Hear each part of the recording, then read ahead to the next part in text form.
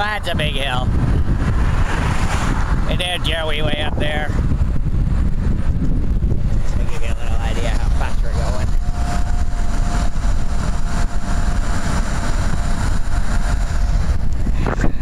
Found another nice hill. We're going down. We're picking up speed close to Jerry Pass, so it'd be pretty cool. And then we're out in the country. That's the hill we're gonna go down. Not very big, but fun. There, Jerry.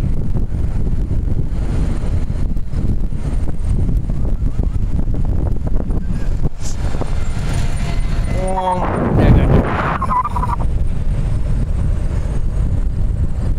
Alrighty, that's the end of the hill. Kind of fun.